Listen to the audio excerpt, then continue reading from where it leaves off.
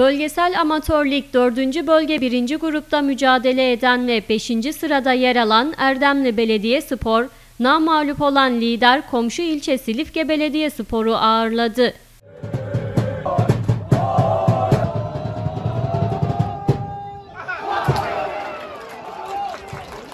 İki takımın karşılaşması Erdemli Stadyumunda oynandı.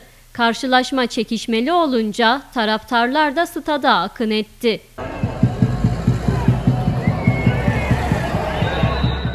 Polisin de geniş güvenlik önlemi aldığı maçta taraftarlar tribünleri doldurdu. Tribünler dolunca birçok taraftar maçı dışarıdan izledi. Birçok spor sever de stadın yanında bulunan bir binanın 3 katındaki tüm balkonları doldururken bazıları da kaldırıma sandalye atarak izledi. Çok güzel bir maç. Kendimizi balkonlara attık. İki takıma da başarılar diliyoruz. Beşiktaş taraftarıyım. 14 maçtır maç kazanamıyoruz. Burada da kazanamıyoruz. Karşılaşma öncesi şehitler unutulmadı. Tunceli'de şehit olan Erdemlili Assubay Üstçavuş Celil Mutlu ve tüm şehitler için pankart açan iki takımın futbolcularıyla taraftarlar bir dakikalık saygı duruşunda bulundu.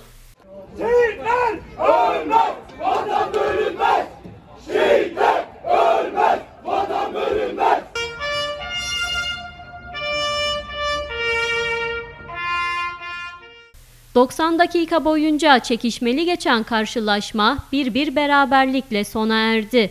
Karşılaşmanın sona ermesiyle taraftarlar da olaysız bir şekilde ayrıldı.